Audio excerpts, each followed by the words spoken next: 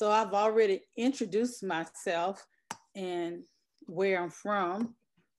And currently my um, PowerPoint is um, loading.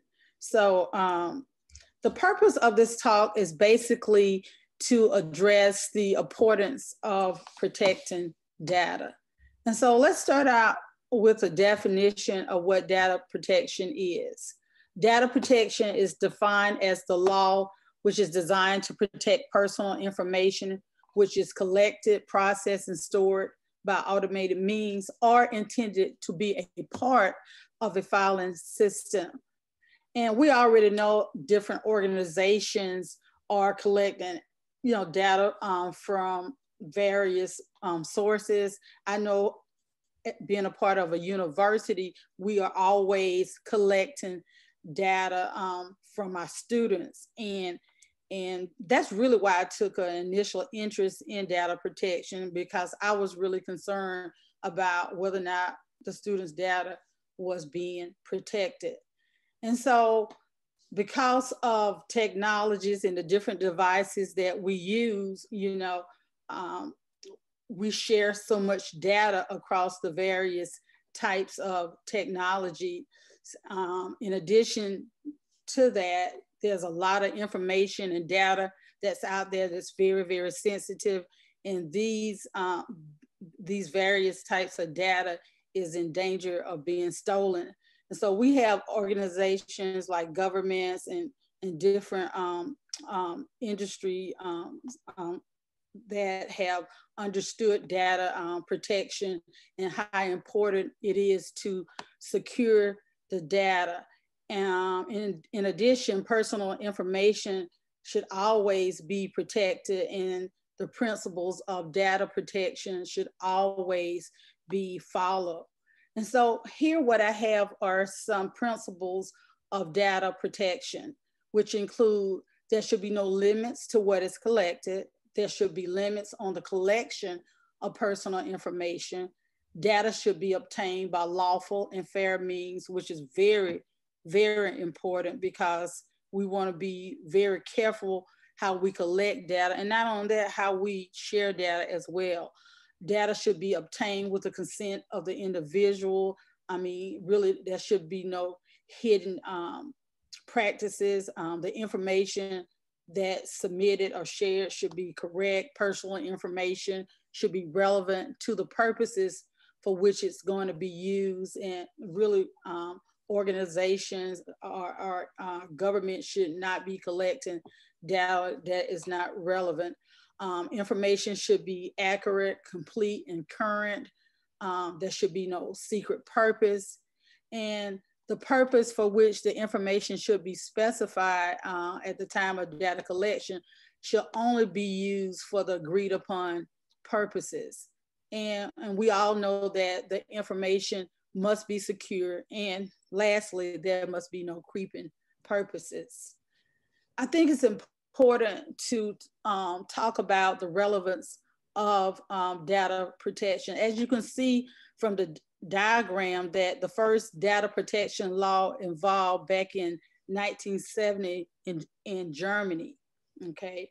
Um, data protection um, was of little to no relevance, as you can see from the diagram in the mid 90s, um, all the way from the mainframe up to 1970 down to the Internet of Things in um, 20, um, 2021. Um, I'm positive that um, when the internet was first created, that um, the developers of the internet did not anticipate such a wide scale use. And definitely they didn't consider um, software security. But today it's very imperative as we develop software that we take seriously give serious consideration to software security. But data protection has come a long way and has influenced the creation of uh, the discipline of cryptography and encryption. And it's important that strategies are uh, continue to be implemented to secure data.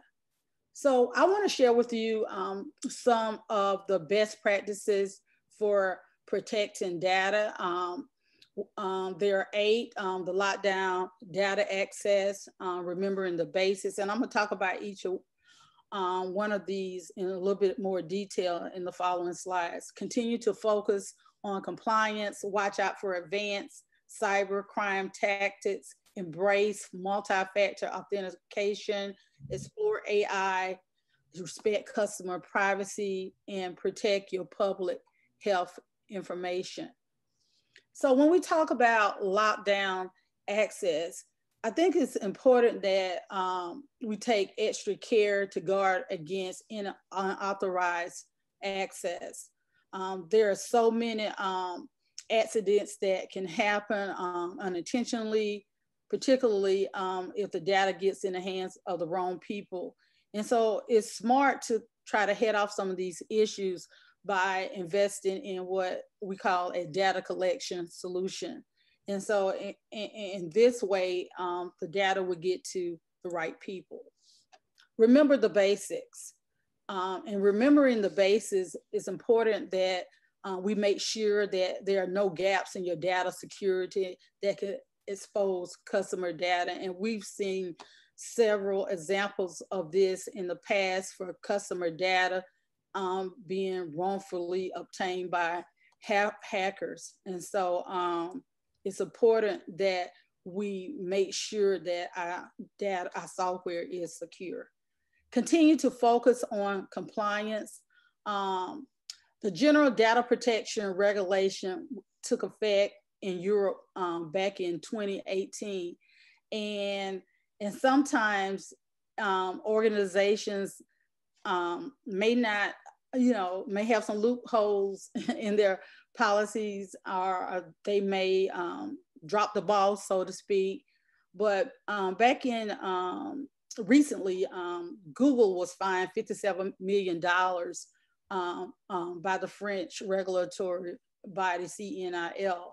And so it's just important that uh, we focus on compliance because you know, if certain organizations do not focus on the different compliance uh, regulations, we can be impacted. Now, we do know that the United States, we do not necessarily follow the GDPR just of, uh, as of today, um, but there are some organizations, I believe the state of California um, had has some customer regulations that they've developed and they are following, which is very similar to the GDPR. And as I think about the GDPR and I think about um, students on our different college campuses and their data, I wonder how our universities and our colleges are, you know, are, are following certain policy, or even uh, uh, if they even have policies on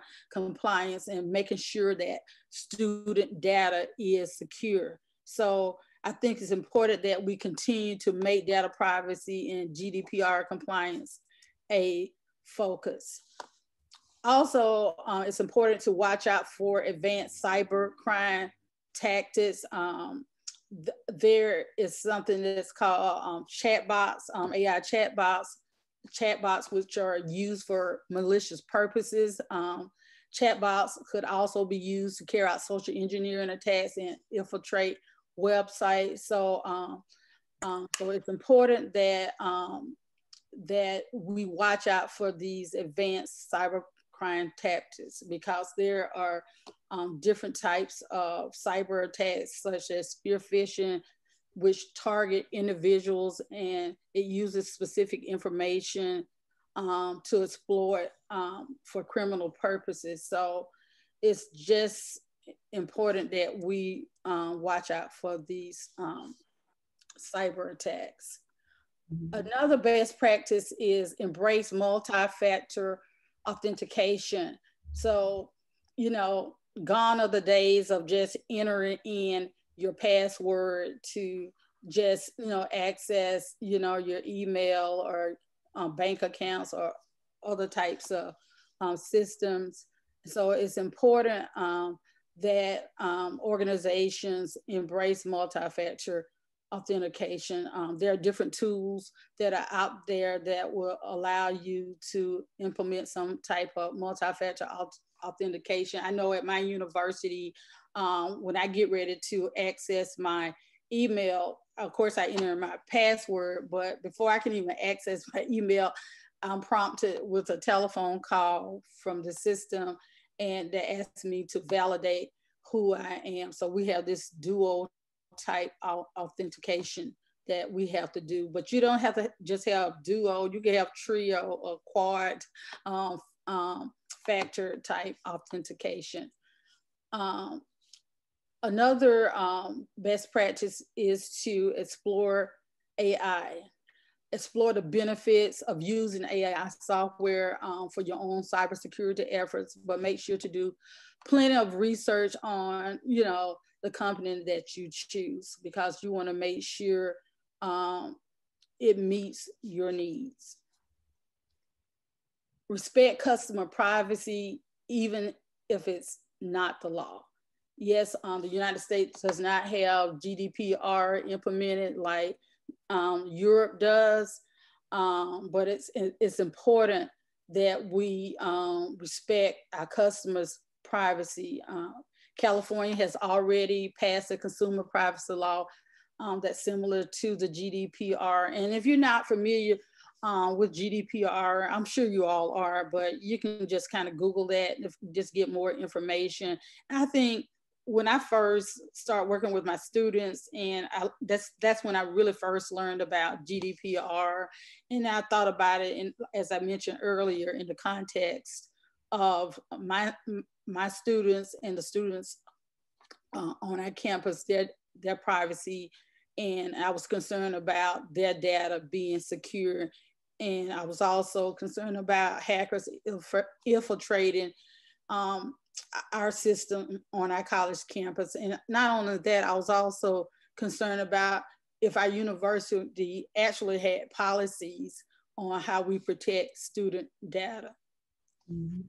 And lastly, protect your personal health information. Um, medical data is sought after on the dark web, which costs up to $60 per medical record. Um, um, cyber, criminal, cyber crim criminals do not care what systems they they infiltrate. Um, they infiltrate not just your email, your social media accounts, but they are also infiltrating um, the databases of healthcare organizations. So um, yes, we do have HIPAA laws and we have FERPA, but it's important that we protect personal health um, information.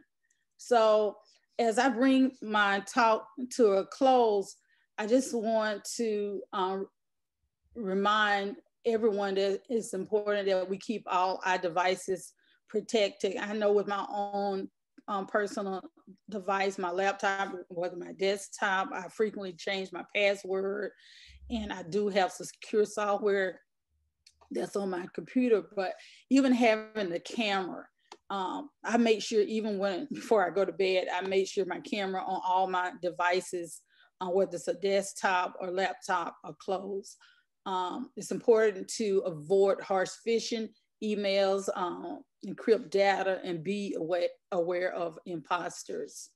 And lastly, um, um, just keep in mind these safeguards for protecting data um, is so vital to um, the way we do business every day, all organization, it's government, educational institutions, um, private sectors. Um, it's important that personal information is disclosed or used or retained only for the purpose for which it's intended. We should not really collect information uh, uh, unnecessarily. Uh, we must ensure that the data is secure and just use uh, reasonable safeguards to, to protect um, uh, the user's data, the customer's data. Uh, remember that there should be no secret organizations, sources, or processing. Mm-hmm. And it's, it's also important that consumers be made aware of the collection and use of the of information. Because I know sometimes when I'm online and I'm filling out different types of forms I'm careful about the data that I put in. And, and sometimes, you know, um, we're asked for like, um, say for example, phone numbers. I'm not so quick to get out, give out my cell phone number. Um, um, and sad to say, but sometimes I just may put in an erroneous number, even though it's a required field. So we just have to be very, very careful. And the consumer should, again, and I emphasize this so much that the consumer should know the purpose for the use of the data that you know an organization is collecting. And and, and also the user should know about the organization um, which is the data controller. So um, thank you um, yeah and this was great. Actually i put a link in because you know as we're cycling to the next speaker thank you so much for this presentation that we um this is just a quick infographic that actually highlights what you were talking about in the chat, where they put together. Uh, this is a group that's put together all of the different uh, visualizations of the world's biggest cyber security attacks and breaches. Um, and so you can actually filter through it for which ones were because of human error, which ones are because of actual hacking, you know, which ones, how much money it cost them for these different hacks and other things. So human error may seem you know, pretty basic, but it is it does account for a good number of the cybersecurity hacks. Just you know simple things like not putting your password in. So um, as we're it, you know looking through it, uh, you can take a look and see um, also the filters that you might be able to look at, and even in your classes. So if you're trying to bring the point home to your students. um, what exactly the cost of not securing your data would be for these different types of institutions and organizations. So uh, the next speaker, and if you have questions or if you have feedback or or types of uh, resources that you would like to also share on this topic, please put in the Etherpad. And we can transfer this link to the Etherpad as well. Uh, oh yes, and it is a dissertation research on insider threats.